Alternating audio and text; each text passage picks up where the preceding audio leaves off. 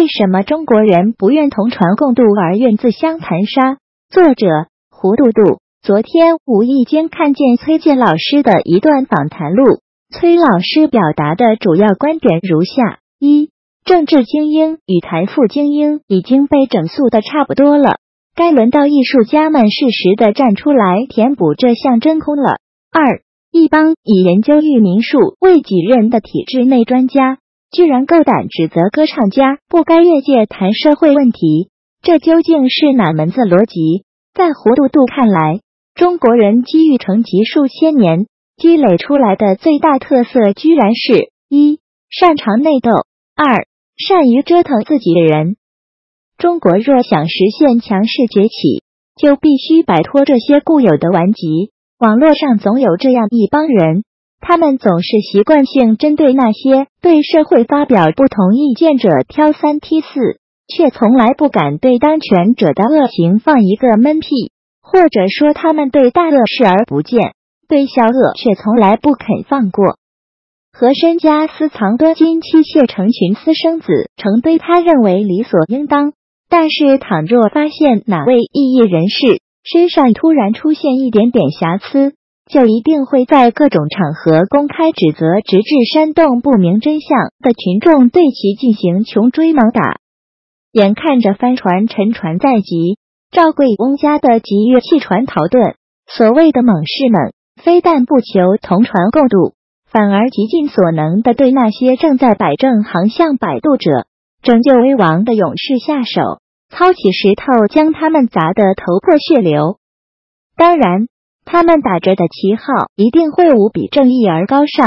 我们就是要勇于质疑，我们一定要先清除混在队伍内部的杂质。实际上。群众的眼睛是雪亮的，别人奋勇推墙，而某些人却勇敢的将推墙者推下水。这套司马昭之心，路人皆知的把戏，早已被熟悉其套路的观众看穿。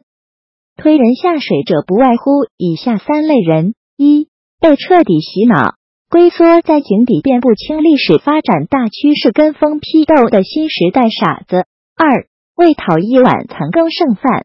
不惜贱卖良知，企图踩着别人的血肉之躯投机钻营上位的无良专家；三奉主子之命潜伏在各群，通过故意制造话题导致分裂与对立来搅浑一池春水的五毛小粉红。举例说明，崔永元揭露娱乐圈偷税黑幕，净化社会风气，应不应该呢？他们却以小崔不敢指责体制毛病，对其横加指责。胡杜杜坚定的挑战体制弊端，不过为生活所逼，在文章后面附了个小小的赞赏码。他们又认为此人写文章不过是为了出名赚钱。无数勇士走上街头被判刑入狱，有人在网络上为他们募捐筹措一点牢饭钱，他们又指责这些人是为了骗捐。总之，但凡不甘为奴、勇于抗争者，都不是什么好鸟。人人都应该学习他们岁月静好的吃独食、喝污染水、住豆腐渣楼房、打毒疫苗不眨眼，让省吃俭用的积蓄被印钞股市 P 兔 P 鲸吞的一干二净，而高喊官恩浩荡，这才是国家的栋梁之才。按照陆逊先生的话说，这群终于坐稳了奴隶的人，实在是应该感激涕零的感谢稳定了。不过非常可惜。就算你最认识赵家的栋梁，赵氏却一直将你视为韭菜，收割起来毫不手软，绝不会因为你的效忠而将你保留为珍稀独苗。连诺奖获得者莫言大师都被 P two P 干掉三百八十万，何况我们这些身处社会底层的小鱼小虾灾，能让你多活一秒，都是对你莫大的恩赐啊！大家都身处同一条即将倾覆沉没的破航船上，本应该同舟共济，相互鼓励扶持着拯救危船才对。但是不借，在某些别有用心的人眼里，在大船沉没之前，不斗过你死我活，分出个胜负来，就不足以彰显在中国人的优越性来；不抓住沉船的机会，搞些多难兴邦的房中秘术，加速沉船速度。就不足以彰显苟活的全部意义来。将头埋进沙滩，像鸵鸟一样活着，才能成功实现大屁股崛起啊！青青在苛责别人的同时，能否也偶尔问问自己，可曾像他人那样为这个苦难的社会、多难的民族、遍地是灾的国家做过点什么？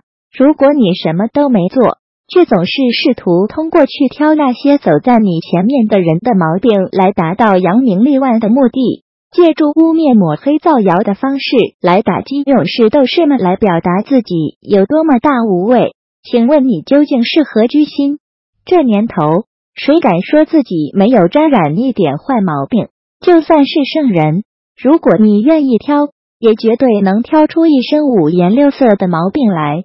对待那些为你请命、勇于呐喊与抗争的人，在他们遭遇打压、折磨与酷刑的时候，为什么就不能多一份同情与宽容？为什么一定要凶相毕露的捡块板砖跟着就上，非要干那些亲者痛、仇者快的事情？记不清谁说的，切莫让那些为众人抱心者冻毙于街头了。体制内就没有好人。毛于是、资中云、贺卫方、袁腾飞、秦晖、柴静、袁立、崔永元，谁敢说他们不是好人？我敢保证，即使在如此空前绝后的残酷高压下，大多数的体制内人士仍然会坚守着自己的良知底线。即使不敢站出来发生抗争，但是也绝对不会助纣为虐。相反，反倒是那些打着各种正义大旗的鼠辈，在欲做奴才走狗而不得的长姿势的充当赵家的奴才与帮凶，在坐稳了奴隶者眼中，唯一还能令他们兴奋，能证明他们在积极追求上进。实现人生自我价值的方式，就是踩着同类的血肉之躯往上爬。这些能够从不同角度表演雕飞盘绝技的刁钻客，唯有在感觉最安全的才最敢下狠口。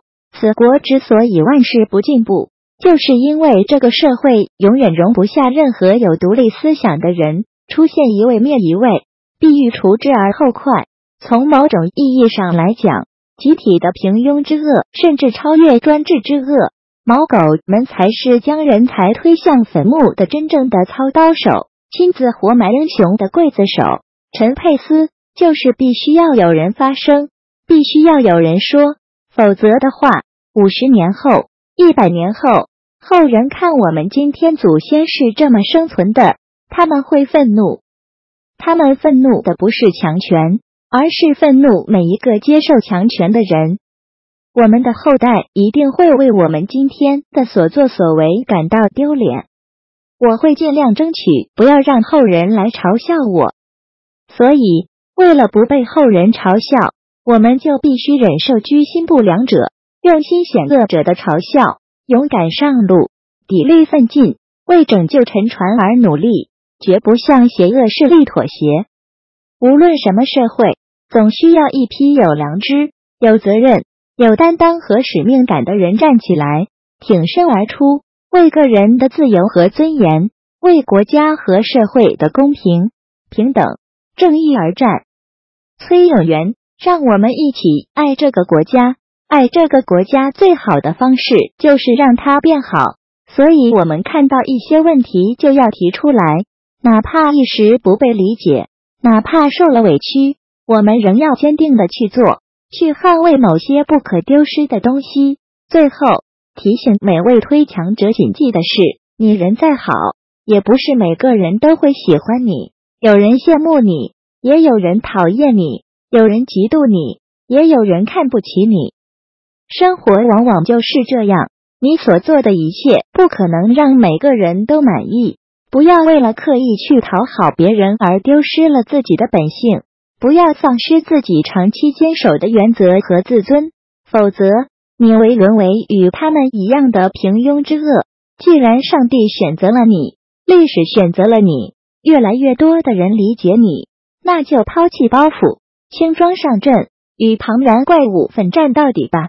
哭过流言蜚语。只不过是你浩瀚人生中必须经历的第一步而已。既然选择了远方，就必须做好承担疾风暴雨的准备。曼德拉背负了整整三十年的牢狱之灾，马丁路德金至少十次被投进监狱。遭遇过无数次恐吓与袭击。与这些伟大的先行者相比，我们所做的是不是太少了？